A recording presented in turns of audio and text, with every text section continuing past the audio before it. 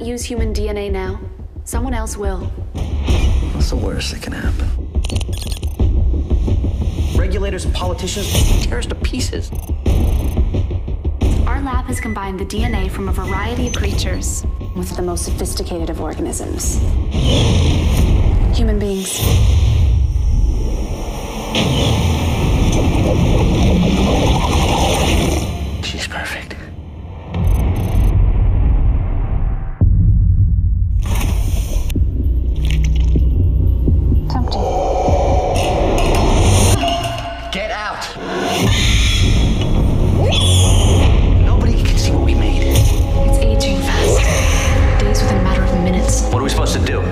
Lock her away from the world? It's okay, honey. There's nothing to be afraid of. You see how pretty you've become? We crossed a line.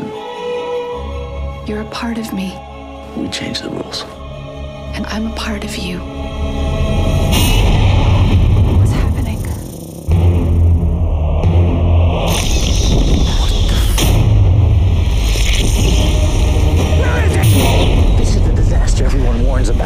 new species set loose in the world.